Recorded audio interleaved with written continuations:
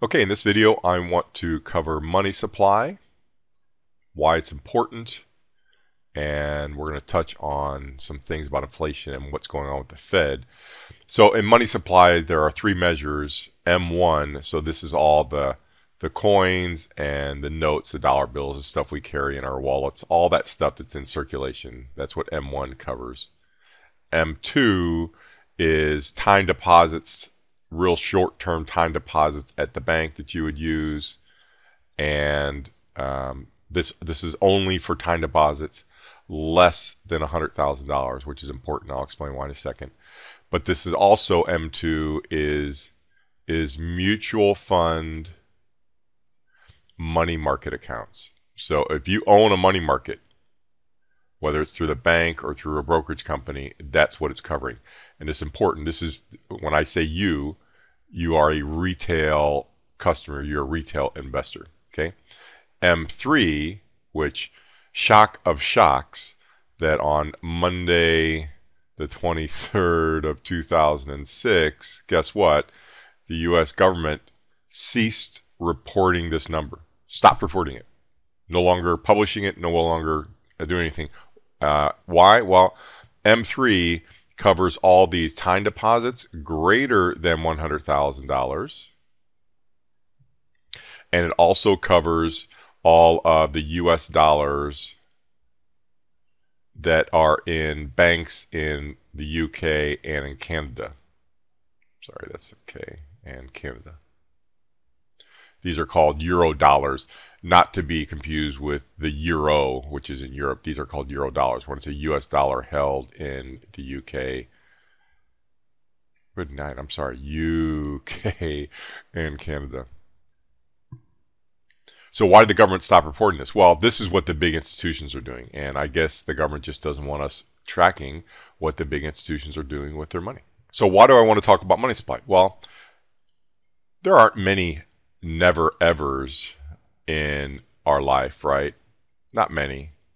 But I'll tell you one that we've never ever had 19 trillion dollars sitting in our system thanks to the Fed's quantitative easing and ZIRP zero interest rate policy. And the reason this occurred is because of 2008 complete market meltdown and the Federal Reserve pumping all this money in the system, and they're trying to do what? They're trying to create inflation, which hasn't worked. Now, there's inflation in our system, and I'm going to show you some stats. And in fact, if, if you want to really get educated on what's going on, you go to Shadow Stats. Uh, it's a website created and run by John Williams, a brilliant man but they have he has all the different graphs that track the way things used to be or were supposed to be until the government started manipulating things. And I'm going to give you some examples of that. So this is one of ShadowStat's more popular charts. You can see it's measuring the CPI. So you can see here early on, they're on top of each other, the blue and the red. This is the government measuring inflation as a basket of things we spend money on, right? Food, oil, housing costs, and so forth, right? Then all of a sudden, you can see here in 1980. Uh, actually, it's, you can see here it's in uh, late 82, early 83. It separates. Well, that's because in 1980, the Congress voted to re- remove certain items from this basket of inflation. Okay, and then you can see it separated. So what the government is saying is, oh, the things we're spending money on, uh, they're not important to our measure. And so then the red line's down here. Okay, and you can see it separates. And then they did, and just so you know, the reason of, of this lag, they made a decision in 1980, and it, take, it takes a couple years for the, the statistic to show up. They did it again in 1990. So right, 1990 here, and then two years later, the gap gets bigger, and they took more things out. What are the main things they're taking out? Well, they're taking out uh, little insignificant things like uh, energy cost and housing costs. You know, things that really we don't spend a lot of money on, right? Well, why did they do that? They did that because this is the measure the government uses to calculate our retired folks' Social Security payments. So they figured, well, if we can convince the Social Security recipients, the people that are retired, that inflation really isn't that big of a deal, then we don't have to give them as big a raise in their Social Security income. You can see the blue line shows the inflation in the system, right? So, you know, here it is. I took uh, my wife and two of my kids to see a movie yesterday. Eleven dollars.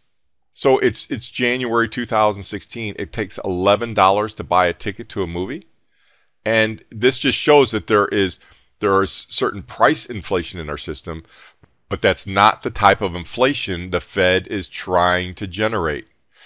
The inflation that drives our economy is this.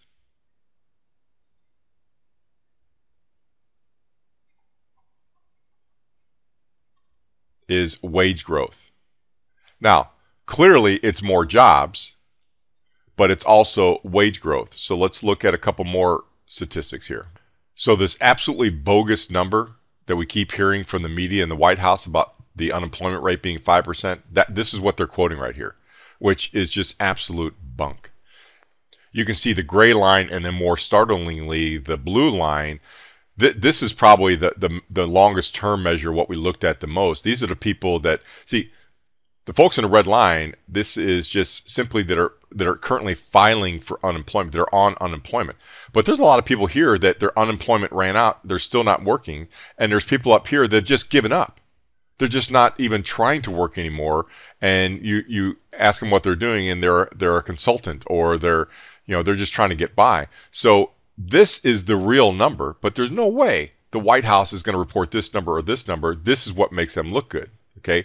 So we haven't had any employment growth, but guess what? We haven't had any wage growth. So look, this, what I, re, the reason I love the shadow stats and looking at this kind of data point is this is something, this is straight from the Fed.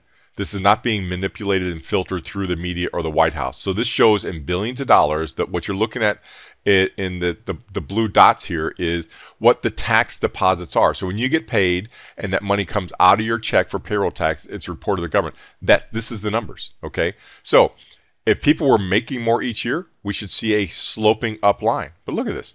Here, here's you know 2008 meltdown. So this this blue line here shows the, the specific recession. Here's blue line, wages drop, and look, wages have not grown. They have not grown. We are still at or below the levels of where we were at in 2008. So seven years later, we have not had any kind of wage growth. And wage growth is what drives the economy. The Fed's pumping all this money in to try to get create more real jobs and to get more money in people's pockets so they can start spend money in the economy. That's what they're trying to accomplish. But as you can clearly see, and you probably know, and you probably know beyond all the propaganda coming out of the media and the White House, is that, that we are not in this recovery mode that everybody keeps talking about. We are not in recovery. So when the Fed finally raised interest rates in December 2015, we are now on this very precarious teeter totter, right? They've raised interest rates a quarter point no big deal in the big picture. It was more of an attempt for the Fed to prove that they are right, that they created reco- a recovery and they can now raise interest rates. A lot of the preliminary indications they were giving is that they were going to do four more raises in 2016. Well, if they do that in this struggling economy, we go very deflationary and ultimately even worse, we go in, into depression, right? Because deflations are what all governments are trying to avoid. That's why they try to create inflation. They want to battle deflation. If the Fed now that they have what's you know you're seeing you're going to start seeing a lot of articles talking about dry powder, right? Now that the Fed raised interest rates, they can lower them back down because you saw what happened the first week of the stock market in 2016. They could lower back down. Now, if they do this, all they're simply doing is is building this bigger cauldron of hyper inflation. They're just adding to this number right here, which is just a problem. Now, there's a third thing they can do, which is that you're the, the old one and done. I don't I don't see that as a very likely scenario. We have too active of a Fed. They're gonna they're gonna want to do something. But when people ask me, okay, Rob, why why does there have to be this massive correction in the stock market that you and other people are always talking about something that's going to be a repeat or worse in 2008. Why? Why does that have to happen? Well, it gets back to this this never ever. Folks, you got to do something with this money. This money just can't sit there. Inflation is a measure of M3, M3 times velocity. That's the measure of inflation. Right now, this money is not moving around. Banks are not lending it, it's just sitting there. Eventually, it's going to start moving around.